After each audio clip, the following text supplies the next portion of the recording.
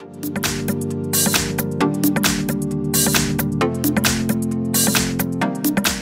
Welcome to the in front of me Realme C31 and I'll show you how to make notification sound on this device. So first you should go into the settings application and then click on the sound section.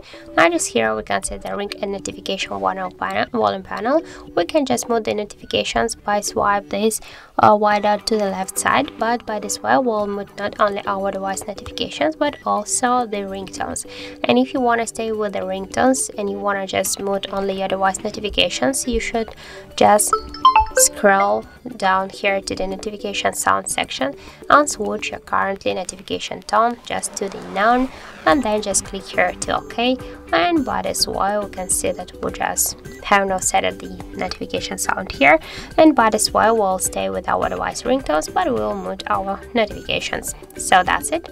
Thank you for watching and if you find this video helpful don't forget to leave a like comment and to subscribe our channel